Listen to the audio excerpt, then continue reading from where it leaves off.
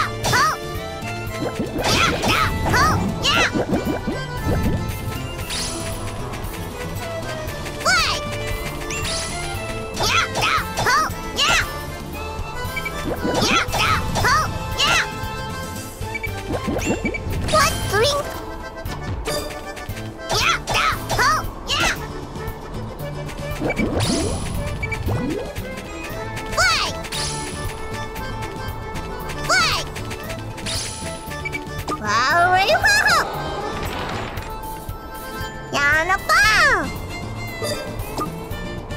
Fight!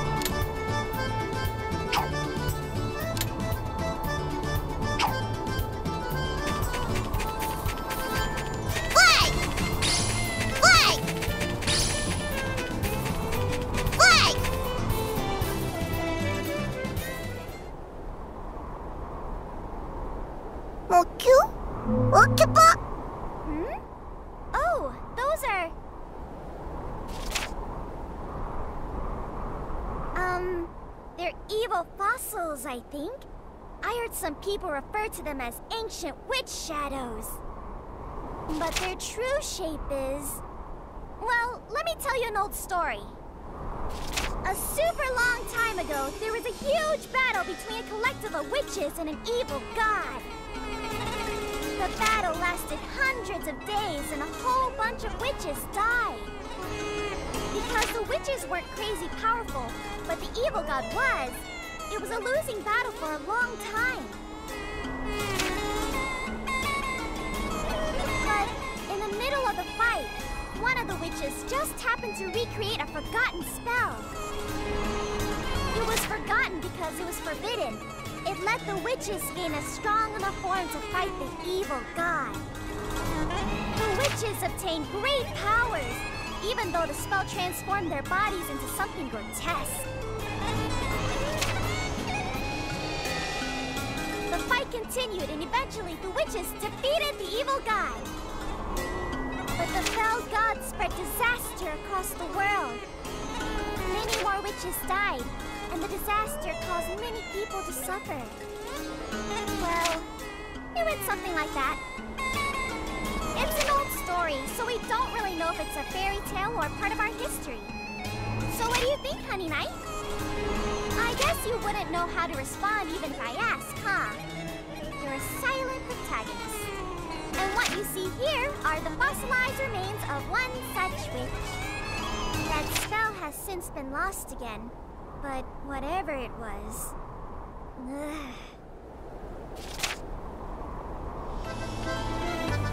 so anyway, there are lots of weird rumors about these ruins, but there's no way those are gonna come to life, so don't worry. Let's keep moving, Hundred Knight.